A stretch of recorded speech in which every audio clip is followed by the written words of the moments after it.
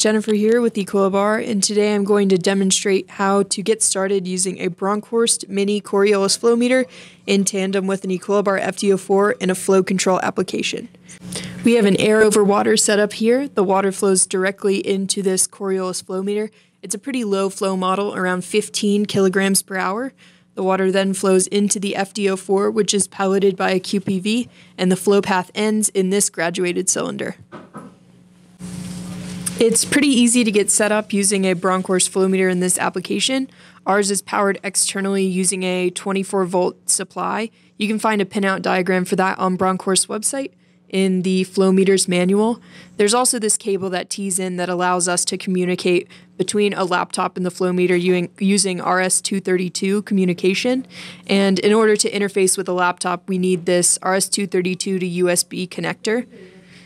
The two programs you will need to operate the Bronkhorst flow meter are called FlowDDE and FlowPlot. Both are available to download for free on Bronkhorst website. As I'm demonstrating here, you can Google FlowDDE and FlowPlot and scroll down to the page and download the program.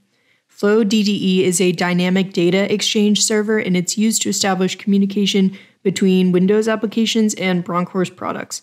FlowPlot is the software you will use to visualize the flow and make setpoint and PID changes. Now that the software is downloaded, you can open FlowDDE. And when you download FlowDDE, both 1 and 2 download, so you can run multiple processes in parallel. In this case, I'm just using FlowDDE 1. When you open it, this is the screen that appears. The first thing you'll need to do once the flow meter is plugged into your computer is click on Communication Settings under the Communication menu. In the dialog box that pops up, you can choose the COM port that your flow meter is connected to. In my case, this is COM3. You can confirm this in the device manager on your computer. You'll also need to choose the baud rate. The default is 38400, and this is perfect for this flow meter. You will likely not have to change it.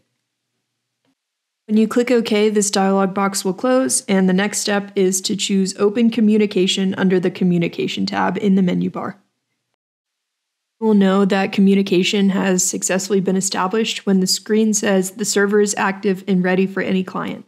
At that point, you can open FlowPlot. You first open FlowPlot, this is the dialog box that appears. There are three lines that will be graphed. The first green one is the measure output showing the flow in the system. The red is the set point output, which is where what we are controlling with the FlowPlot software, and the yellow is the valve output. Also in this box, in the bottom left-hand corner, you can see in the channel and control mode section, I have RS-232 selected as my mode of communication. If you click on this drop-down menu, you can choose other modes of changing the flow set point like analog input, etc. In our case, we will leave it on RS-232. When you click OK, this will close the menu box and your settings will be saved. To reopen the dialog box at any time, you can click the Select Parameters box on the right hand menu bar. To access more advanced settings, click on the Instrument Settings box that is highlighted in blue. This brings up a different dialog box. In the top left hand corner, you can see the same channel in control mode section where we chose RS232 earlier. Here you can also change the set point in the top right section. And under the basic tab, you can see that you can change fluid type or cap the full scale of the meter and also change filtering parameters. The controller tab has all the PID settings. It's possible that these settings work for you for your application right out of the box, but it's more likely that you will have to change the parameters in order to achieve the best performance for your process conditions. And finally, under the alarm tab, you can set alarms and a counter if you'd like. When we close this dialog box, we are back to the main FlowPlot screen.